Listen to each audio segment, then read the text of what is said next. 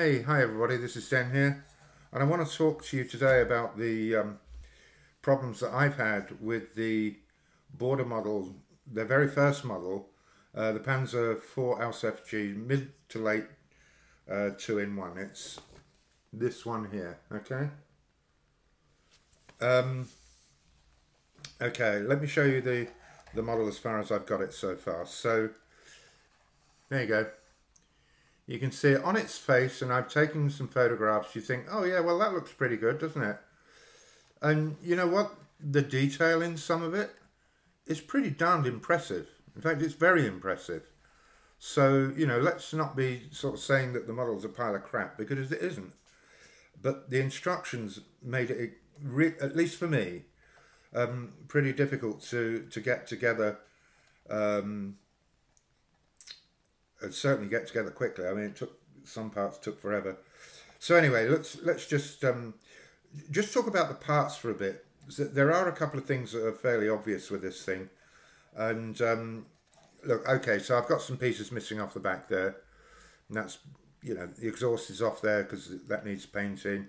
Spare tracks off the front; those are missing because um, they need painting separately in order to do a half reasonable job. Um, but I'll just talk about a couple of things. The most obvious one, at least for me, is, is the tracks. Can you see there that there's there is virtually no uh, track sag at the top, and you can say, well, okay, this is a, a vehicle in motion, therefore there would not have been so much sag, yada yada yada. But it is one of the things that you know us armor modelers really like to see if we can. Okay, now part of the reason for this is because the the track counts beyond the length length and link, link and length, whatever you call it, just didn't make sense or was vague. Okay, and it was very difficult to figure out how that was going to come together. The second thing is is that, as you can see here, the side fenders are incredibly close to um, where the track would sit, and there's just no way around this, and that's partly because of the fit of the side fenders into the main body of the tank. There just wasn't a way around it, at least not for me anyway. Let's put it that way.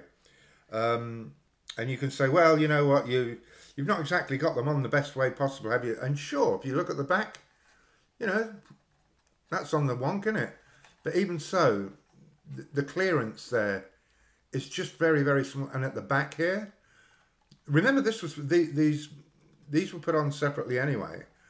Um, was problematic. And the road wheels, these road wheels here and the return rollers here, very, very loose fitting.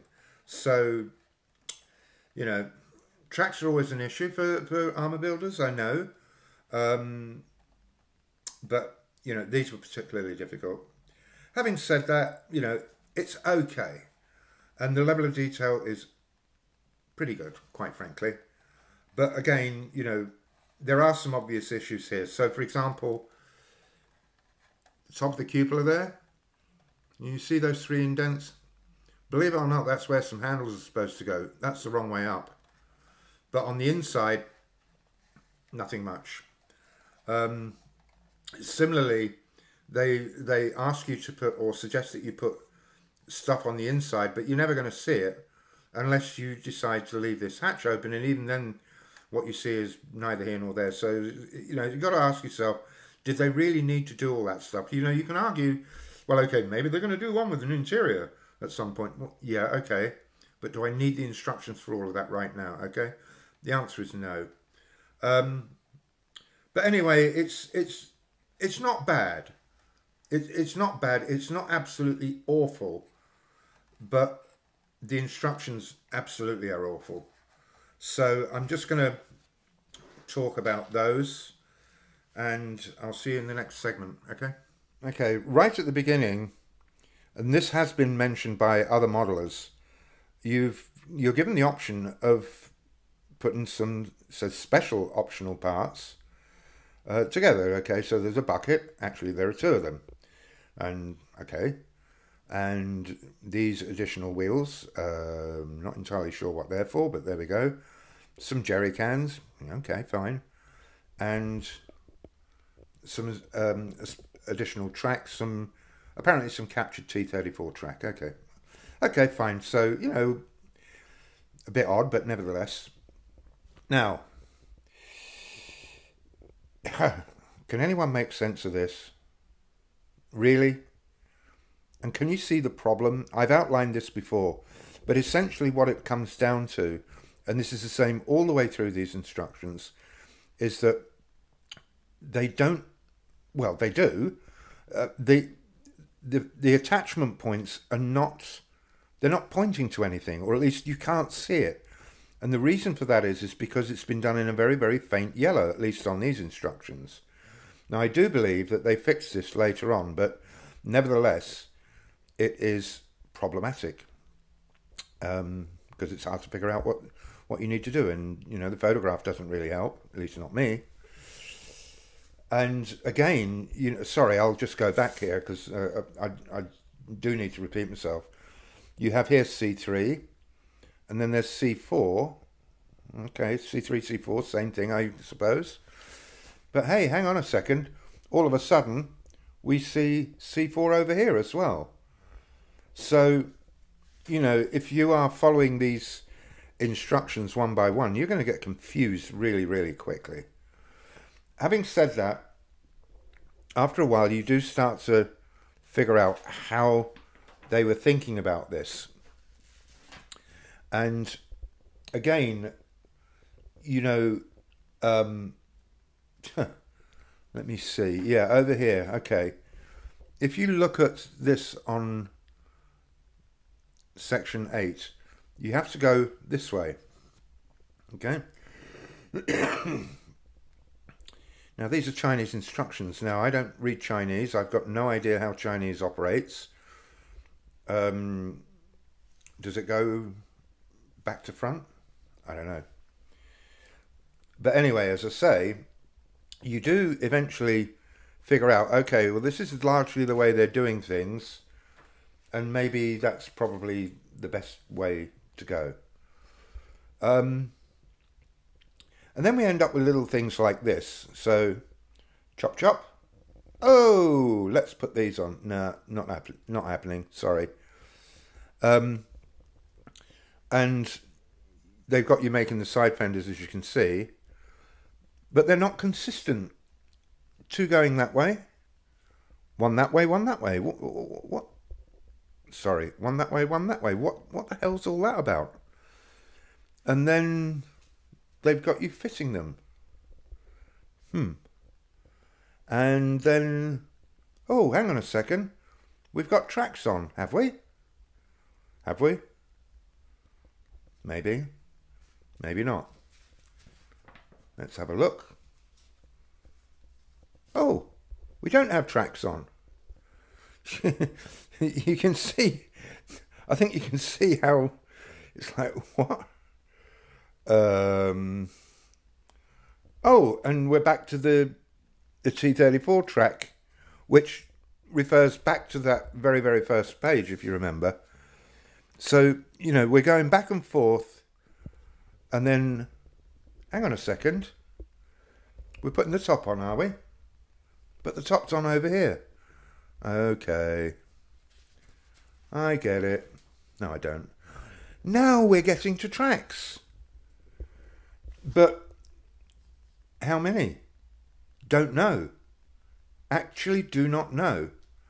Here you can count them. So it looks like eight. It's not eight. It's about ten.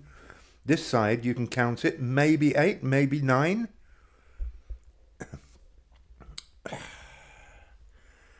uh, what is going on? And as I've put on here, what is this? there doesn't seem to be any reason to, to fit this up because there's stuff already molded on there you can understand, I think, I hope anyway, how it would be easy to become frustrated. And, you know, the build kind of goes on in this way. You, you eventually figure out how things come together. Um, but I wouldn't say it's easy by any stretch of the imagination. Um, do we have anything else? There was something else that I found that drove me nuts. Let me see if I can find it again. Uh, let's see. No, I can't find it at the moment. Oh boy. What is it? Oh yeah. This. The towing cables. no part number, no fixing points. What? oh dear.